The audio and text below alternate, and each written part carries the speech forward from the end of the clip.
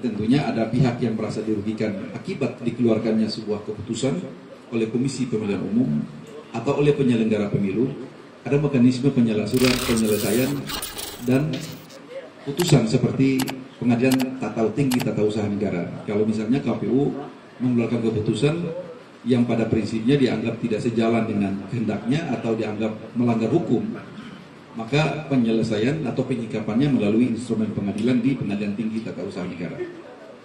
Ada juga yang bertindak sebagai penegak kode etik atau kode of conduct. Ada lembaga penegak etik, yaitu yang kita kenal dengan DKPP dan seterusnya. Dan terakhir, ada yang menyelesaikan hasil. Hasilnya ini yang kemarin seperti yang Bapak Ibu atau Anda sekalian simak berhari-hari berminggu-minggu kami bersidang di Mahkamah Konstitusi dalam rangka untuk mendapatkan putusan akhir daripada satu rangkaian proses pemilu yang panjang itu. Nah, kebetulan berdasarkan konstitusi kita, khususnya berdasarkan Undang-Undang 7 2017 tentang pemilu, Mahkamah Konstitusi itu dilembagakan sebagai the last resort, sebagai pelabuhan akhir daripada satu rangkaian proses penyelesaian sengketa pemilu itu sendiri. Ya, yang saya sebutkan tadi, kalau aspek etik ada di KPP, aspek tahapan ada di PT Tun, aspek tindak pidana ada di pengadilan, Gakumdu, aspek administratif dan seterusnya ada di Bawaslu dan seterusnya. Mahkamah Konstitusi sebagai the last artinya sebagai lembaga penyelesaian akhir daripada rangkaian sengketa itu sendiri. Nah, kebetulan seperti yang kita ketahui, model dan konsepsi pelembagaan Mahkamah Konstitusi seperti yang saya katakan tadi memang dimaksudkan untuk harus menyelesaikan uh, sengketa yang berkaitan dengan hasil. Hasil itu apa? Hasil itu berkaitan dengan perpindahan suara sah atau perselisihan suara sah atau objektum litisnya adalah suara yang diperselisihkan. Seperti itu. Ya, jadi makanya model pelembagaannya itu kan MK itu satu lembaga peradilan tata negara yang diatribusikan dengan kewenangan yang terbatas, yaitu empat kewenangan satu kewajiban. Salah satu kewenangannya adalah menyelesaikan sengketa pemilu. Penyelesaian sengketa pemilu diatribusikan menyelesaikan dalam batas waktu yang limitatif 14 hari.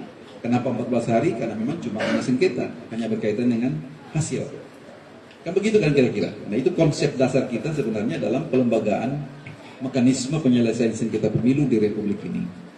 Nah, dalam perkembangannya, di dalam perkembangannya, setidak-tidaknya yang dapat saya potret secara langsung adalah pemilu-pemilu yang pernah diselesaikan oleh Mahkamah Konstitusi sejak 2004, pemilu 2009, pemilu 2014, pemilu 2019 dan yang terakhir kemarin setidak-tidaknya saya sendiri pernah mengalami sebagai pelaku peradilan langsung dua kali yaitu untuk sengketa pemilu atau Pilpres 2019 dan Pilpres 2024. Sehingga dengan demikian, saya mau katakan bahwa uh, proses pelembagaan yang diidealkan oleh pembentuk undang-undang itu secara praksis saat ini rupa-rupanya ya, menurut saya rupa-rupanya ada sedikit ya, ada sedikit pergeseran paradigmatik seperti yang dipikirkan oleh pembentuk undang-undang dan senyatanya yang saat ini menjadi satu kebutuhan konstitusional penyelesaian sengketa hasil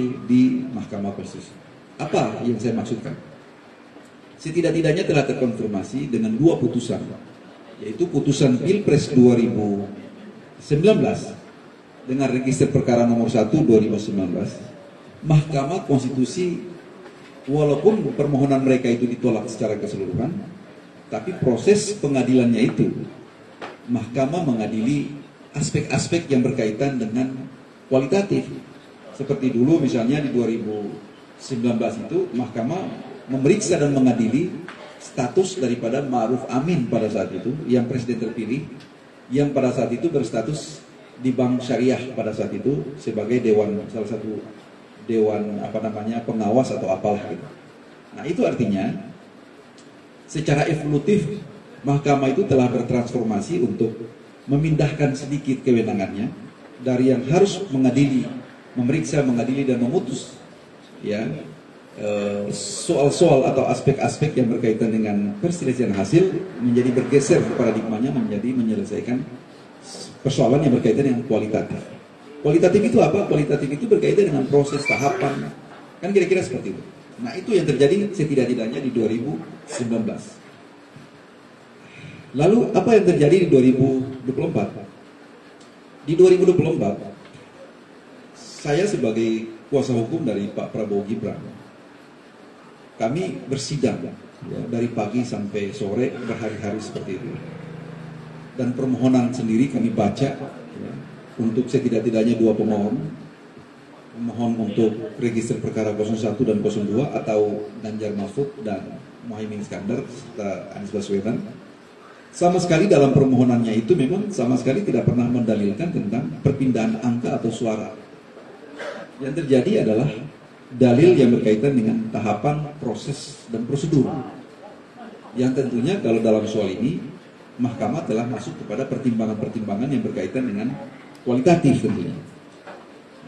Walaupun di dalam dalil yang dikemukakan oleh pemohon ya adalah diasumsikan bahwa hasil suara yang mendapatkan 96 juta sekian atau ekuivalen ya, ekuivalen dengan 58 persen sekian itu didapatkan dengan cara-cara yang dianggap tidak prosedural atau cara-cara yang dianggap melanggar etik dan seterusnya. Itu setidak-tidaknya ya, dalam posita permohonan pemohonnya seperti itu. Jadi dalam posita permohonan mereka argumentum uh, petendinya seperti itu. Sehingga dengan demikian kami sebagai pihak terkait apa itu pihak terkait? Pihak terkait itu artinya adresat hukum yang mempunyai kepentingan langsung dengan objek permohonan yang dimohonkan ke Mahkamah Konstitusi. Pak Prabowo dan Gibran itu terdampak secara langsung atau potentif atau potensial jika nanti satu ketika mahkamah itu memutus yang kira-kira merugikan.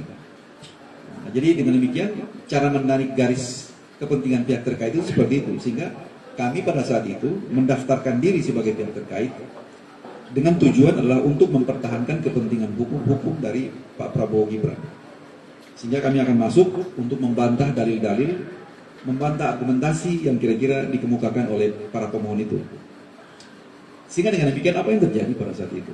Yang terjadi pada saat itu adalah setiap permohonan pemohon bagi kami setidak-tidaknya sebagai pihak terkait tidak ada satupun yang kita lihat dalil-dalil itu terbukti secara sah dan meyakinkan. Mungkin Anda bisa mencek kembali pernyataan-pernyataan kami di berbagai televisi, stasiun TV.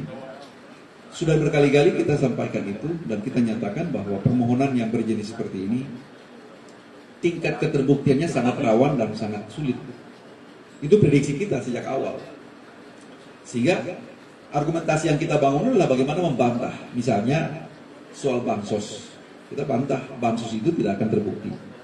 Soal sirekap, kita kan bantah sirekap ini tidak fungsional. Dia menjadi sesuatu yang tidak signifikan dan tentunya juga tidak mempunyai deterrent efek terhadap perolehan suara 96 juta itu.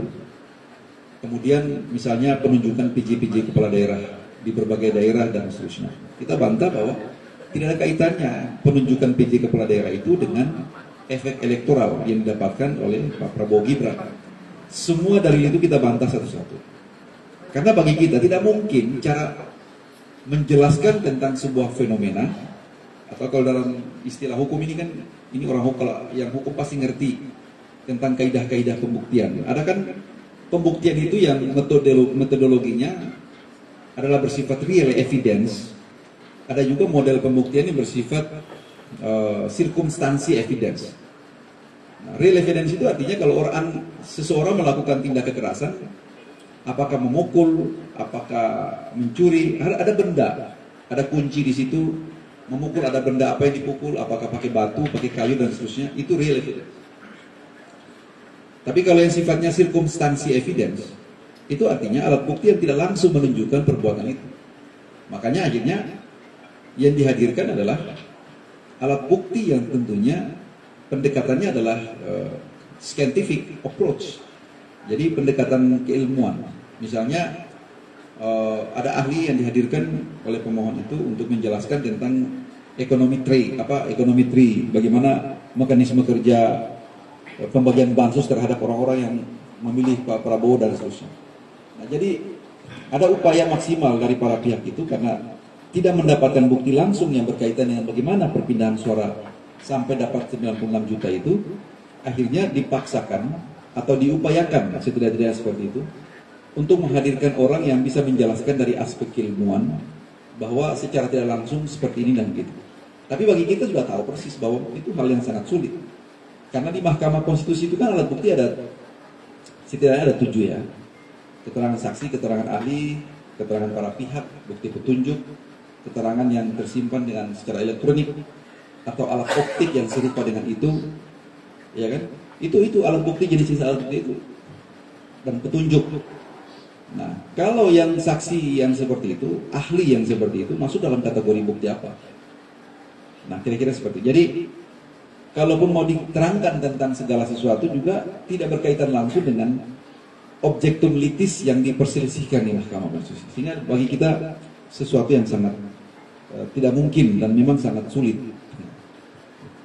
Prediksi itu pada akhirnya dikuatkan dengan putusan MK, sebagaimana yang kita simak secara bersama. Saya persingkat aja ya. Akhirnya tanggal 22 April, Mahkamah mendeklarkan putusannya itu dengan menolak seluruh permohonan pemohon untuk seluruhnya, menolak eksepsi dari kami sebagai pihak terkait dan KPU sebagai pihak termohon untuk seluruhnya.